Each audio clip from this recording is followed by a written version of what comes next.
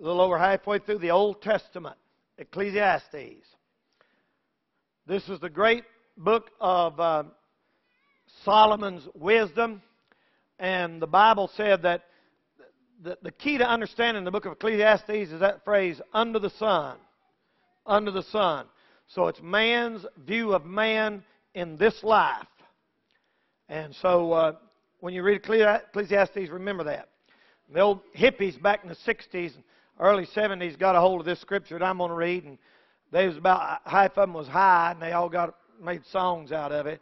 And uh, but that's not what this scripture means at all. We'll take one verse out of it and bring a message. I've been I've been saved since I was 18 years old, and I have never heard one. I think maybe one outline on the subject you're going to hear today. I need your prayers.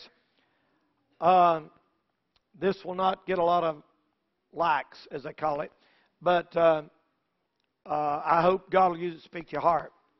What I'm going to preach this morning is bittersweet, sort of good, sort of awful at the end. But it's true. Look at Ecclesiastes 3, verse 1. To everything there is a season, and a time to every purpose under the heaven. A time to be born, and a time to die. A time to plant, and a time to pluck up that which is planted. A time to kill, and a time to heal. A time to break down, and a time to build up. A time to weep, and a time to laugh. A time to mourn, and a time to dance. I'm going to stop right there this morning. Pull out that one word there in verse 4 laugh. The word life, laughter, laughing is in the Bible 40 times. I wonder if you've ever heard a sermon on the subject of laughter. This morning, that's exactly what I tend to do and give it to you from the, my heart. The word life as a verb, it can be a verb or a noun, means this. What is the definition of life? The spontaneous sounds and movements of the face. That's what it says, dictionary. And the body that are instinctive expressions of lively amusement. And all that means is when you get really happy inside, it, you smile and you laugh. How did that evolve if there's no God? the ability to laugh. Uh, it's amusement. Chuckle, cackle, giggle, twitter, or snigger is what the dictionary says. As a noun, it would be howl with laughter. Cracked up, you know, split his side, rolled in the floor, stuff like that, that people use to describe the word laughter. The purest form of laughter would be a little baby and you're playing with it when it's just in its crib and it's all happy and fed and warm and they can just laugh at you. That's a pure form. Psychology tries to say that there's life in chimpanzees, and I, I doubt that seriously. They look like they're laughing, and uh, they say that rats laugh. I doubt that very seriously. Human beings are the only thing on earth that has a sense of humor, and um, can uh, good, you know. Um, We'll talk about that this morning. There's nothing wrong with humor. There's nothing wrong with good, clean, fun in the right context. But uh, it's not always good or healthy to laugh. Tell you the truth, in this world today, there's not really a lot to laugh about, is there? And uh, so the Bible teaches that it's better to go to the house of mourning than the house, uh, a place of laughter. Actually, crying and being hurt will do you better in the long run than laughing and cutting up will. But I'm glad God does let us laugh sometimes. And I'm glad sometimes in life we get to life and enjoy family and friends and enjoy a good time. Now I want you to listen. Five different laughs in the Bible. There are five completely different types of laughter in the Bible. I'll give them to you now. Number one, is the laughter of skepticism, of laughing as something God said. The classic example of this is in Genesis 18, 12, 13, 14, 15, when Abraham and Sarah were there uh, in their tent there, and God comes to Abraham. Abraham, a, uh, uh almost 90 years old. Uh, Sarah, 80 something years old when God first came to him. She was 90 when the baby was born. He was 99. And Abraham sitting in his tent. The Lord comes and knocks on the door. The Lord comes in. They talk a little bit. And Sarah's in here in the kitchen. And obviously, she's in her kitchen, but she sort of wants to hear what's being said in the other room there. And God spoke to Abraham. He said, Abraham, about the time of life, just come, I'm going to come back and, and you're going to have a son. You're going to have a baby. Your wife is going to have a baby. Now, I mean, she's 90 years old almost. I mean, or close to 90 years old.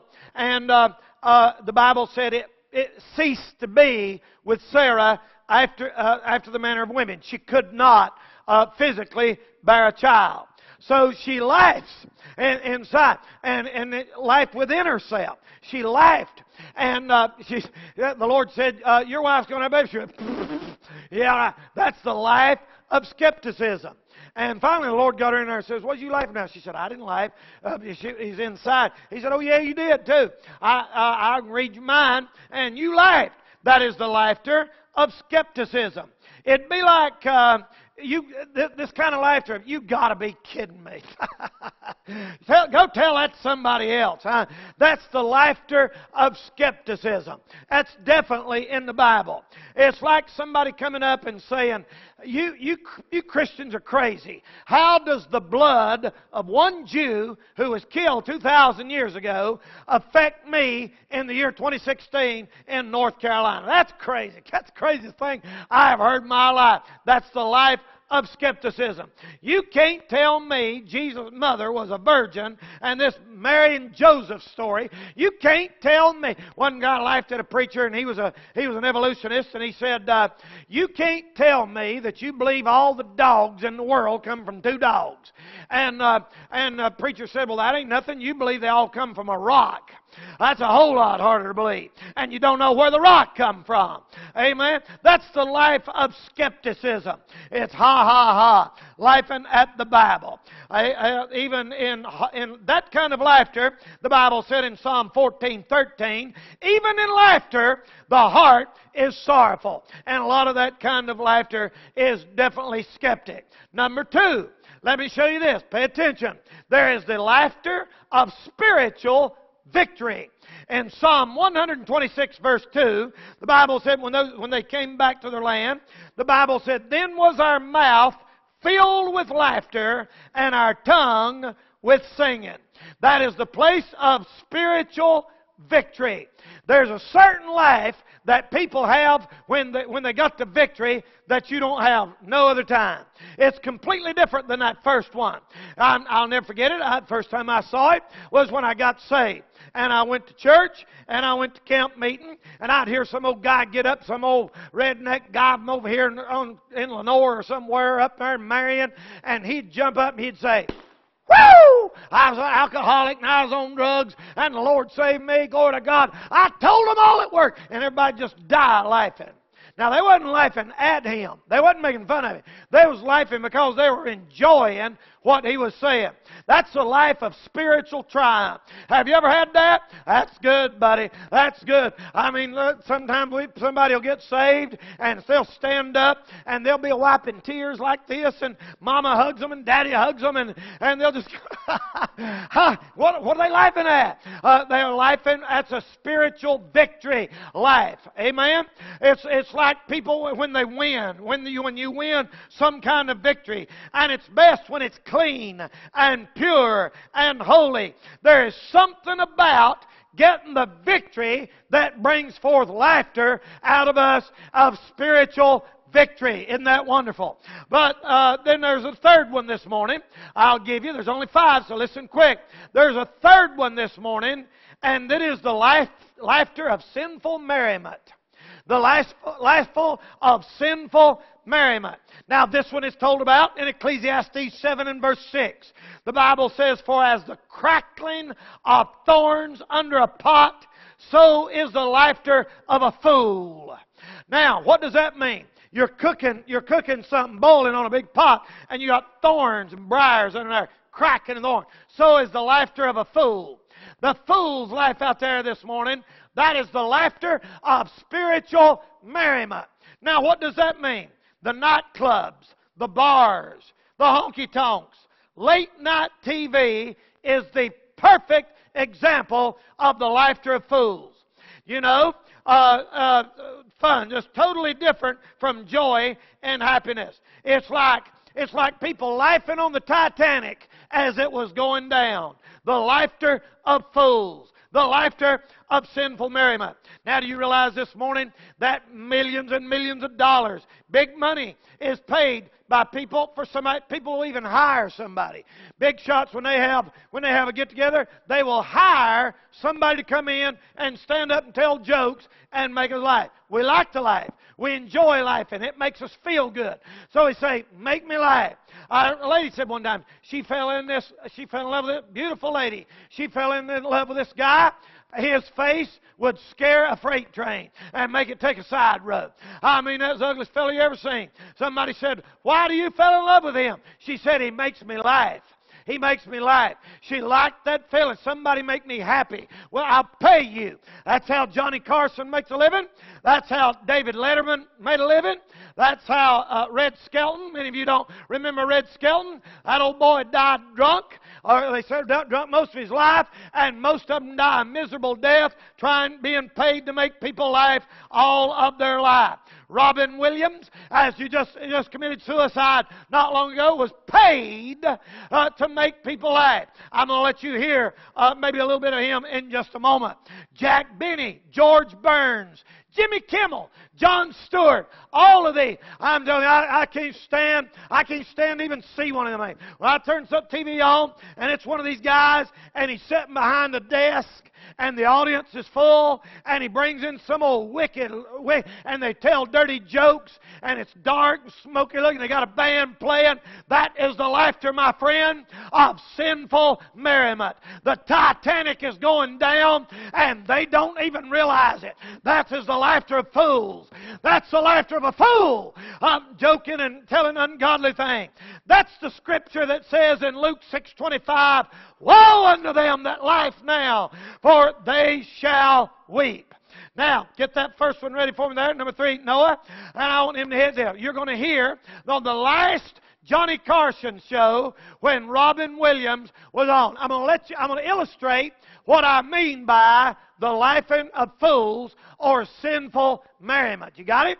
All right, hit that right now. This is the laughter of fools. Go ahead, real loud. They didn't come with bullets, which is always an, an interesting thing. They couldn't find them. They couldn't find them, so they're out in the streets going, "All right, everybody, we are the world." Uh, it's a typical thing. oh, yeah, but you know. They said they saw BMWs pulling up to the Radio Shack. That must be great. oh, God, that was fabulous. This is great. Wonder if we can get right, what you just heard there, that's the laughter of fools. You say, well, brother, ain't that so funny? And I like to hear it. Listen, brother, that's the laughter of fools. That's not sinful merriment. You know why they joke about the Bible and life? You know why? Because people are scared to death of ridicule. And when you go to work and you say, I'm a Christian, they say, you're a Christian. People can't stand that. Americans are so thin skinned and so babyish, they cannot stand somebody to laugh at them. So one of the devil's biggest trick is to poke fun at the Bible and laugh and make fun of it. I'm going to tell you this morning, they mocked the Savior. They laughed at him. They said he was crazy. And the Bible said in James 4 9, let your laughter be turned to mourning and your joy to heaviness because people don't understand that's the laughter of fools. The laughter of sinful merriment. Number four. I'll show you another one. Robin Williams said that there was no devil. It's just God when he's drunk. You say, I think that's kind of funny. That shows your heart ain't right. If your heart was right, you wouldn't think that was funny. You know, you can tell a lot about a person by what they laugh at. You can tell a lot of person by what they think's funny and what they think's not funny. Was up here telling jokes about your mother, you wouldn't like it. And Jesus Christ has done more for you than your mother. He died on the cross to pay for your sins. Watch it, ladies and gentlemen. I'm going to let you hear another one in a minute. Number four. Number four is in Luke 6:21. It's the laughter of eternal triumph. The laughter of eternal triumph. The Bible said in Luke 6, in verse 21, Blessed are ye that weep now, for ye shall laugh. You know what he's talking about? James or, or uh, Psalm 30 and verse 5, weeping may endure for a night, but joy cometh in the morning.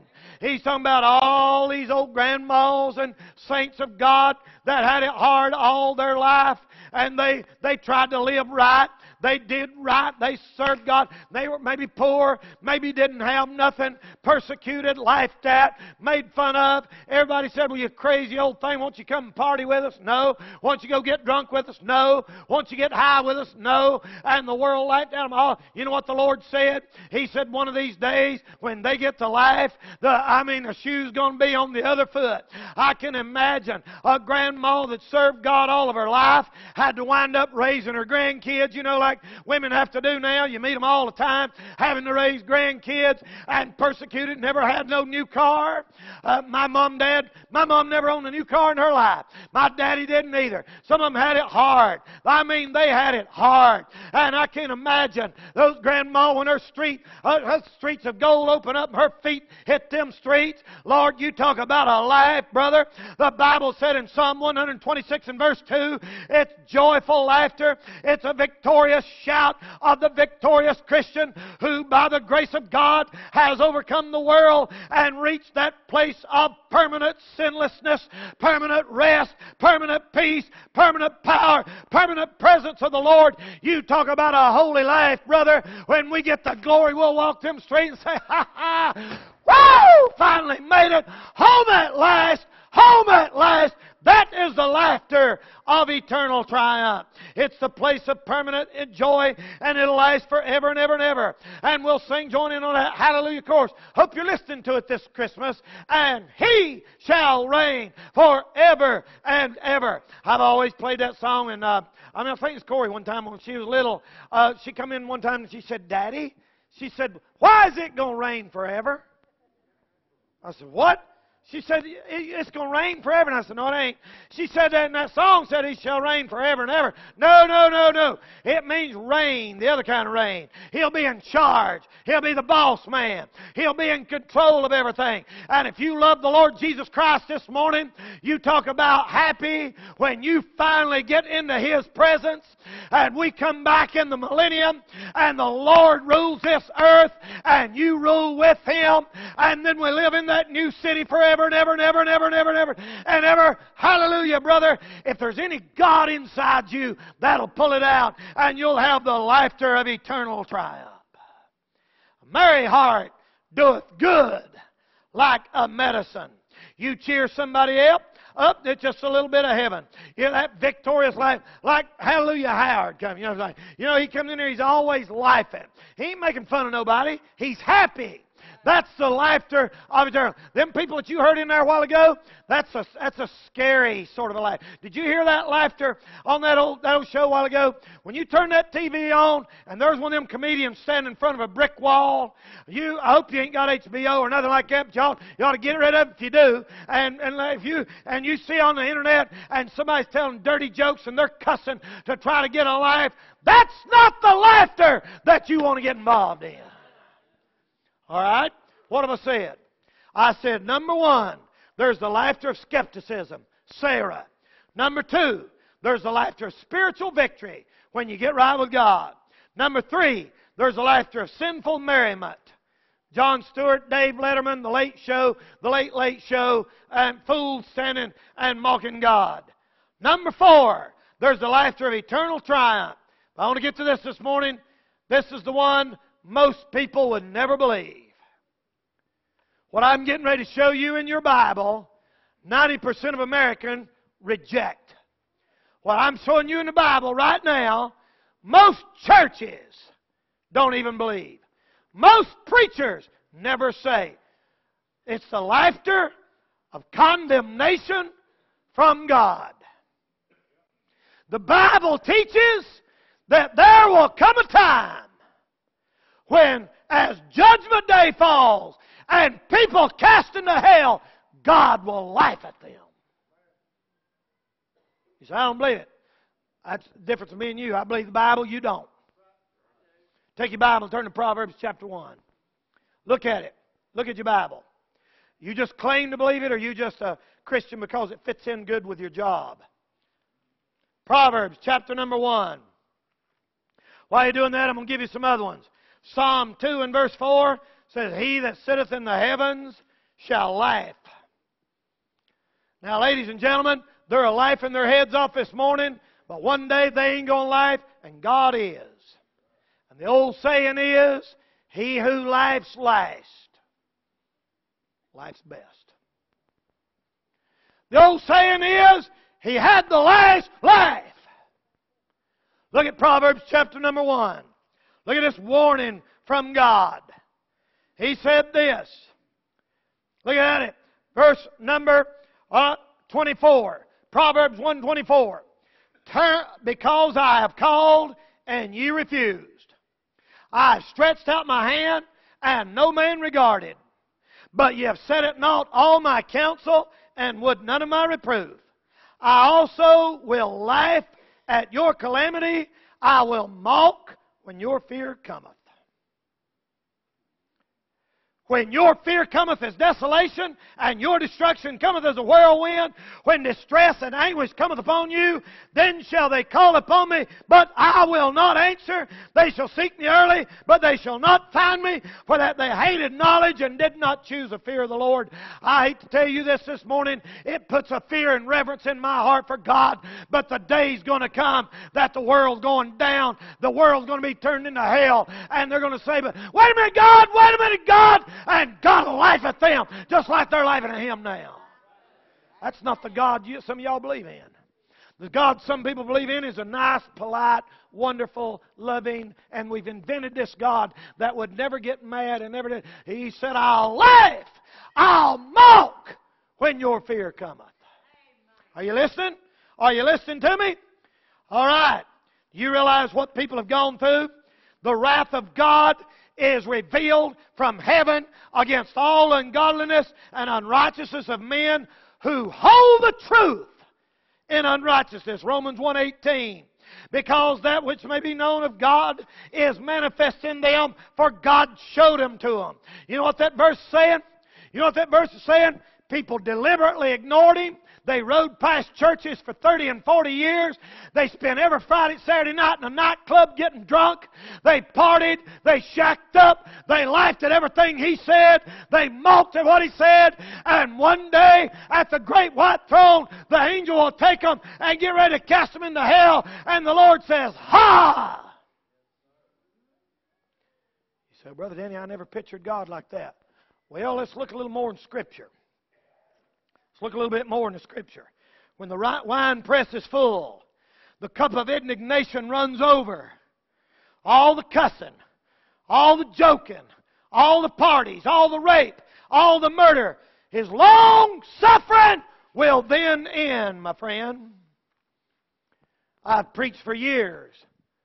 And I show on video. I've got tons of stuff at home where I do video presentations on rock musicians taking the stage and literally mocking God. And some of them you can't even show in church because they're cussing Jesus Christ and calling him every imaginable filthy name you can think of.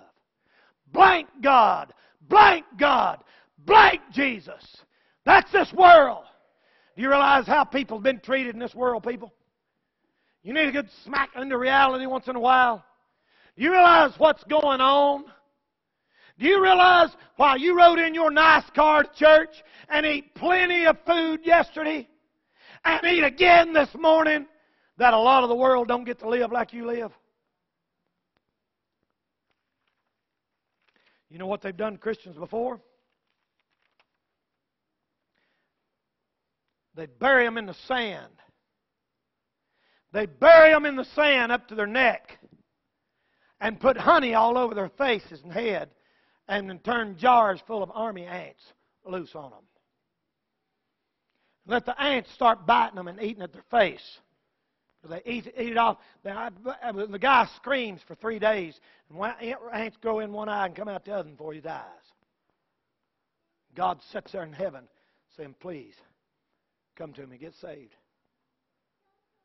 In Germany, they'd tie a guy's hand behind his back in them concentration camps and stick an eight inch probe inside him and punch his intestines with them. That's just a little bit. You ever had a kidney stone? Kidney stone would feel like a picnic compared to that. And God was long suffering and let it go, and let it go. In Vietnam, they'd tie their hands behind them and they'd put a bird cage over their head, tie it up and put rats, rats in there. Let the guy let him eat the guy's face off. He's screaming there two or three days before he finally died. Blood and, and, and rats. What a way to go. That's man. That's the progress of mankind. That's these wonderful. You know, in Germany, you know them educated people done that? Some of the highest intelligence worked for Hitler. That's how man goes without God. And then they get on the radio and make fun of God. I'll give you some quotes. Bumper sticker I saw. Sorry I missed church Sunday.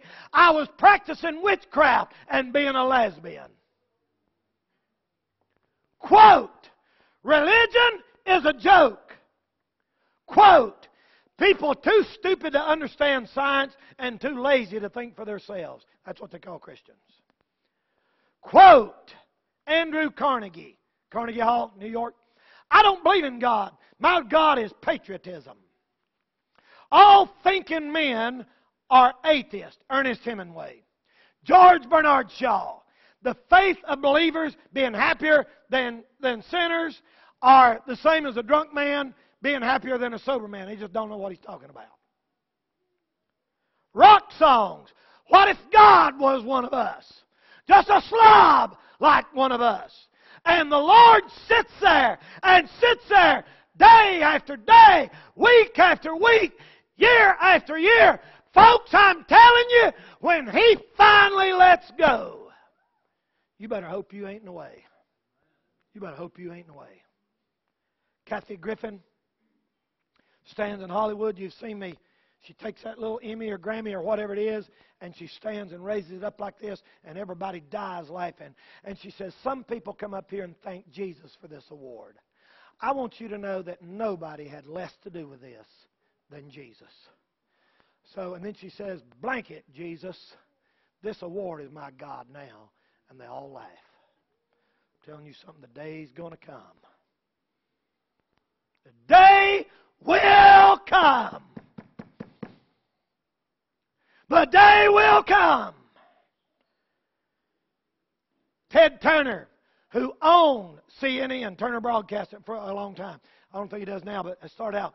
He said, I've had a few drinks and a few girlfriends. If that's going to put me in hell, so be it. Let's party. Let's life cut up. Oh, yeah? Get that number. One ready. Noah. Bill Maher said that the most ridiculous, silly story, he's ever heard in his life was the virgin birth and Jesus coming that we celebrate here at Christmas time.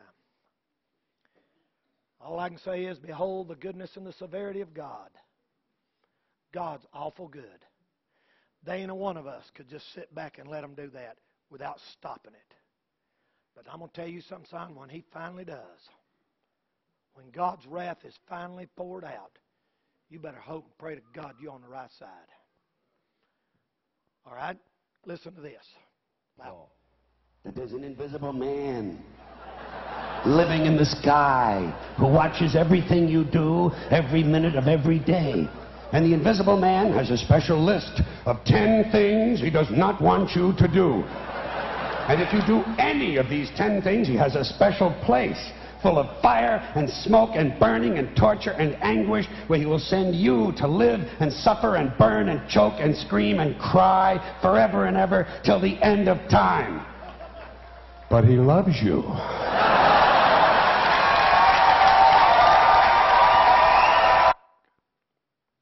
ha ha. Very funny, right? Very funny. All right? Give me some volume on this thing, please. Let's take our Bibles. Did it go out? I want to show you another verse of Scripture. Let's look at another verse of Scripture here. Psalm 37.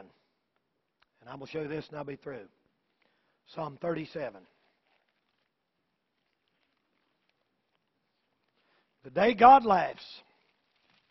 The day God laughs, people. Psalm 37. And if you would please, look at verse number 12. Psalm 37 12. The wicked plotteth against the just, what you just got through listening to. The wicked plotteth against the just and gnasheth on him with his teeth. Verse 13. The Lord shall laugh at him, for he sees his days are coming. Now, if you got a problem with that, you got a problem with him, not me. Don't write me emails, all you people on the internet, and say I don't love people. I love people enough to tell you the truth. And God is not an old Santa Claus sitting in heaven that's just going to let everything go. The day is coming, he'll laugh. Can you imagine? God is dead. The Bible's a lie. Ha ha ha. All you preachers are hypocrites. Ha ha ha. What a joke! Ha ha ha! Judgment of God. Angel, take him, bind him hand and foot, and cast him into everlasting fire. Ha ha ha! That's how much he hates sin. That's how much he hates sin. You say, I don't love a God like that. You got one choice. If you hate him, you know where you're going to wind up? You're going to wind up in hell, buddy forever and ever and ever and ever and ever. I will laugh at your calamity. I will mock when your fear cometh. God is dead? Yeah, whatever.